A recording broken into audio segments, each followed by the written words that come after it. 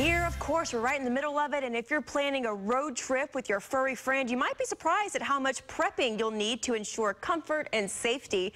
This morning, 8 on your side's Consumer Reports has some helpful tips to make sure traveling with your pet goes off without a hitch. One-year-old Mabel and her family have been preparing for a six-hour road trip to Vermont. We started to do small trips around town, going to our neighbors' homes, in the car, that sort of thing. And that's not all. Just ask trainer Holly Santana.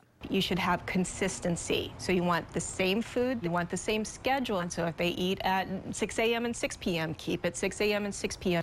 And she says bring a towel or bed with the scent from home, keep the car cool, and take breaks every three hours at least. Also, useful cleaning supplies, doggy bags, leash, collar, and ID tags with your dog's name and your contacts. And don't forget about safety. Pets can act as projectiles if they're not secured. Securing them is a must. The Center for Pet Safety with Subaru conducted crash tests on dummy dogs.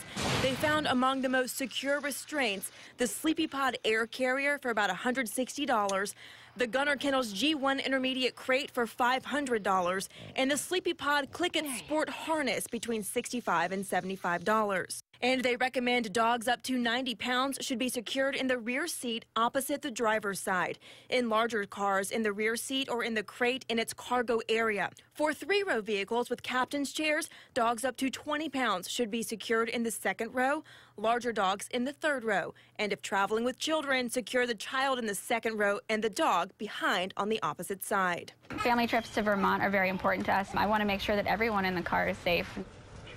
One more important thing to remember, vaccination records. Holly, the trainer, said these can be useful to carry with you if your dog gets sick and you need to visit a local vet. Also, dog-friendly hotels have been known to ask for them as well. And we have even more information for you posted right now on this on our website, WFLA.com.